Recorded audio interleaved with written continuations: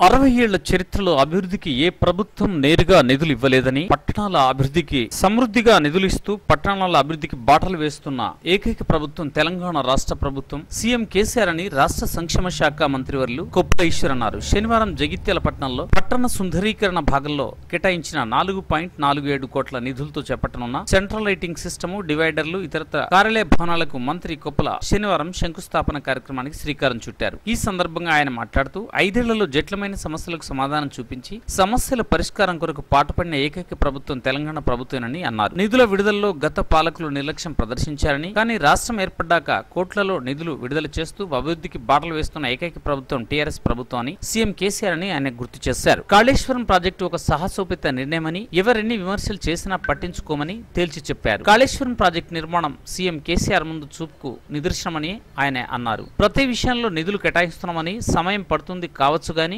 అభివృద్ధి మాత్రం ఆగదని స్పష్టం చేశారు. కొద్ది రోజుల్లోనే దేశంలోని తెలంగాణ రాష్ట్రం నెంబర్ వన్గా నిలవబోతుందని అన్నారు. జగిత్యాల ప్రాంత అభివృద్ధికి ఆమడ దూరంలో ఉందని రానున్న రోజుల్లో జగిత్యాల ప్రాంతాన్ని జిల్లా కేంద్రాన్ని ఆదర్శవంతంగా తీర్చిదిద్దుతామని ఆయన స్పష్టం చేశారు. జిల్లా మంత్రిగా జగిత్యాల జిల్లా అభివృద్ధికి కట్టుబడి ఉన్నానని ఎల్లవేళలో పూర్తి స్థాయిలో సహాయ సహకారాలు అందిస్తారని మంత్రి హామీ ఇచ్చారు. ఈ కార్యక్రమంలో శాసన సభ్యులు సంజయ్ కుమార్తో పాటు collector doctor S Sharath ZP chairperson Dava Vasantha Suresh పలువురు అధికారులు నాయకులు కార్యకర్తలు పాల్గొన్నారు. ఎక్కడికక్కడ ప్రజలకు ఇబ్బంది లేకుండా రవాణా సౌకర్యం సాఫీగా జరగాలి అని చెప్పేసి మొన్ననే మార్కెట్ రోడ్లో రామ్ బజార్లో కూడా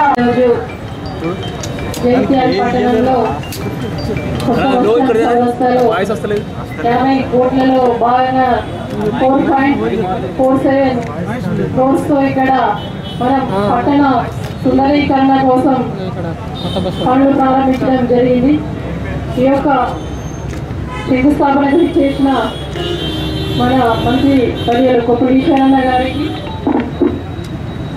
మన జైత్యాల శాసనసభ్యులు సంజయ్ అన్న గారికి అవార్డుల మీద అవార్డులు అందుకుంటున్న మన ఉత్తమ కలెక్టర్ గారికి మున్సిపల్ కొత్త పండుగ కార్యక్రమాలు శుభదినాలన్నీ జరుపుకునే విధంగా ఆ యొక్క టౌన్ హాల్ ఉంది. కానీ గత ప్రభుత్వంలో అది మొత్తం గుర్తుపెట్టిపోయింది మన ఈశ్వరన్న గారు కూడా చూసారు ఇంత బాగా ఈ టౌన్ హాల్ అనేది కృష్ణనగర్లో కూడా లేదు. ఈ జైత్యాల్లో ఉన్నాయని చెప్పేసి వారు కొనియాడారు. ప్రతి ఒక్కరూ కూడా ఈ పట్టణ అభివృద్ధికి మీ వంతు సహకారం అందించి మన పట్టణాన్ని కరోనా ధీటుగా అభివృద్ధి చేసుకోవాల్సిందిగా మనస్ఫూర్తిగా కోరుకుంటూ ఈ అవకాశం ఇచ్చిన పెద్దలకు మౌలిక వసతుల కల్పన అనేది చాలా ముఖ్యం. మౌలిక వసతుల కల్పన అంటే విడదీసి చెప్పాలంటే రోడ్లు ఉండాలి రవాణా ఉండాలి సీవరేజ్ పైప్ లైన్స్ ఉండాలి డ్రింకింగ్ వాటర్ సిస్టమ్స్ ఉండాలి టెలికమ్యూనికేషన్ సిస్టమ్స్ ఉండాలి ట్రాఫిక్ సిస్టమ్స్ ఉండాలి. ఇవి అభివృద్ధికి ఇంధనం. మౌలిక వసతుల అభివృద్ధి కల్పన అభివృద్ధి అంటే అభివృద్ధికి ఇంధనం. ఇది అలాంటి అభివృద్ధికి ఇంధనమైన ఈ మౌలిక వసతుల కల్పన కోసం రాష్ట్ర ప్రభుత్వం ఈ ఒక్క మున్సిపాలిటీకే మరి గౌరవ మంత్రివర్యుల ఆధ్వర్యంలో గౌరవ శాసనసభ్యుల ఆధ్వర్యంలో యాభై కోట్ల రూపాయలు ఇక్కడ మంజూరు అయినాయి.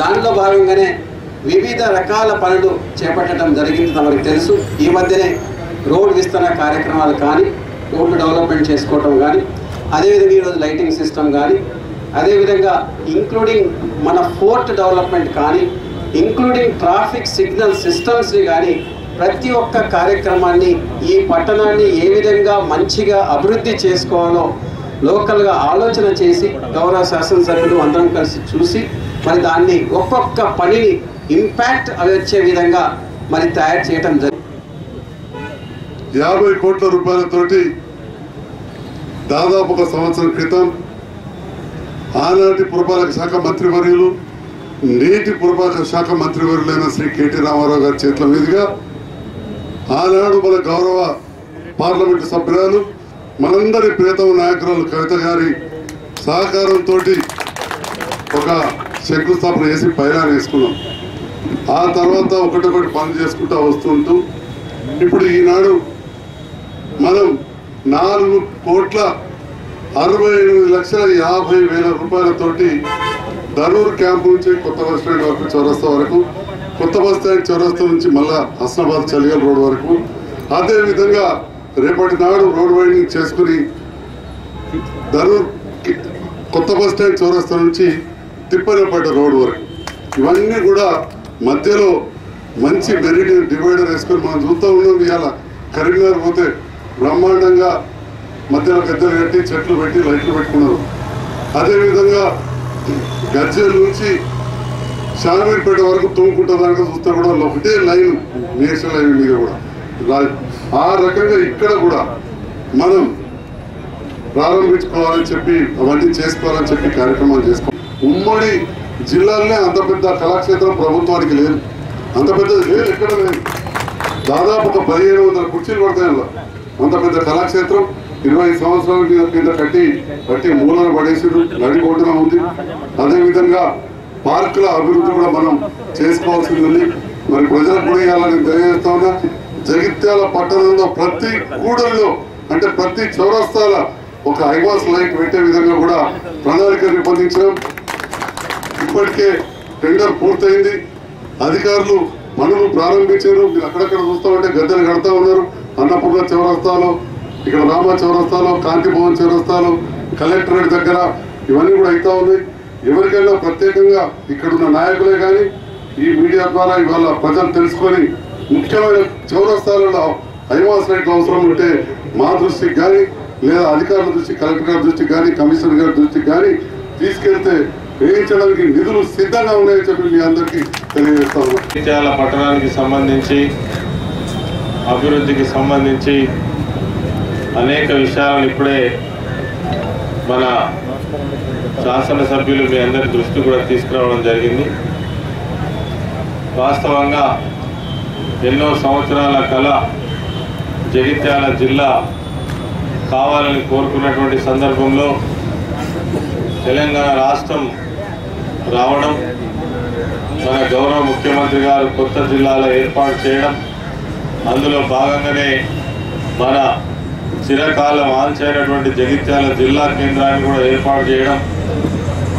అంతేకాకుండా జిల్లా కేంద్రాలు కావచ్చు మున్సిపాలిటీలు కావచ్చు గ్రామాలు కావచ్చు యావత్తుగా తెలంగాణలో అభివృద్ధి క్రమం ప్రారంభమైందంటే తెలంగాణ రాష్ట్రం వచ్చిన తర్వాతనే.